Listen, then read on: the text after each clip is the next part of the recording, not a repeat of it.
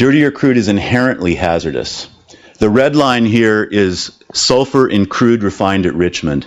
The black line, sulfur in gas oil distilled from that crude, and the gray shading shows the thickness of the wall of a pipe carrying that gas oil.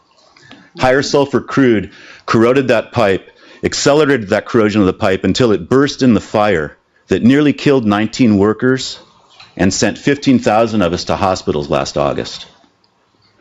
And it can get worse. Chevron was running and is running crude with half the sulfur of heavy oil shown in the red line in the middle of this chart. Half. The U.S. Geological Survey describes heavy oil and natural bitumen, what you might call tar sands oil, as fundamentally different petroleum and reports vast deposits of it in many parts of the world. This is data from refineries across the country from my work that was peer reviewed and published by the American Chemical Society and the Union of Concerned Scientists. From left to right, refinery emissions of greenhouse gases nearly double as the crude gets dirtier. A full blown switch to tar sands oil would be off the chart to the right. Emissions from extraction would add to that. Extreme oil alone could bust our Earth's climate budget. So this is your fight too. The solution's clear. This, uh, these charts from the mainstream climate science really show it, if you think about them for a second.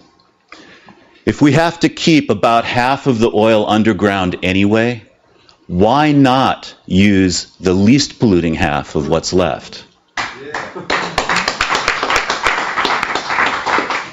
Well, that's not Big Oil's view.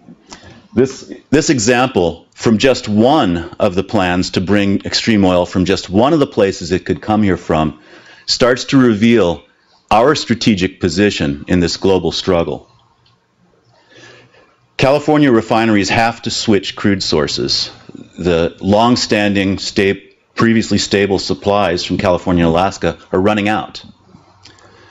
They could switch to similar quality oil. There's enough, but the dirty oil is cheaper.